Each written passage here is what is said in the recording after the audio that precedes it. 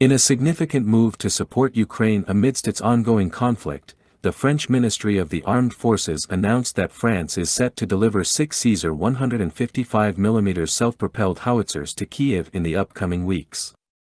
This delivery is part of a broader commitment by France, promising to produce an additional 72 Caesar cannons over a little more than a year, all intended for Ukraine. This announcement underscores France's continued support for Ukraine since the conflict's inception in February 2022. To fulfill this ambitious production schedule, Nexter, the French arm of the Franco-German defense group KNDS, has significantly accelerated its manufacturing processes. Traditionally, the production of a Caesar 155mm self-propelled howitzer took three years, but Nexter has managed to have this time to just 18 months. Moreover, the production rate has tripled from 2 to 6 units per month.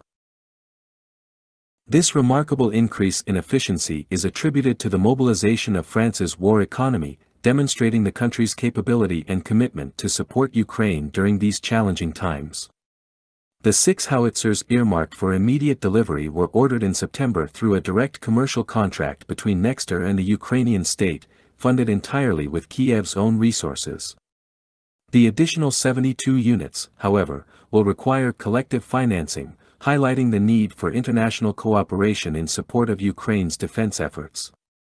France's pledge to produce a total of 78 Caesar howitzers for Ukraine by early 2025 is a testament to its leading role in the international effort to assist Ukraine.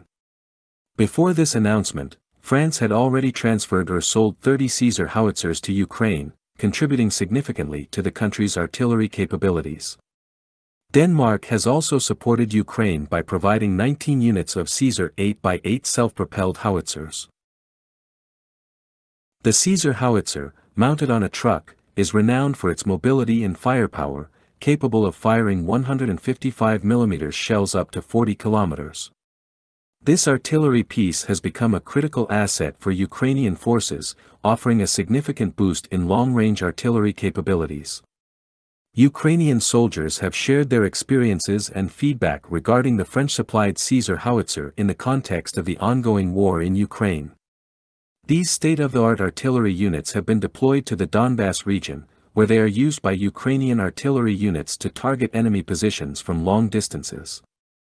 A key advantage of the Caesar howitzer, as noted by the Ukrainian military, is its high mobility and the ability to hit targets up to 38 kilometers away with the self-propelled 155mm gun.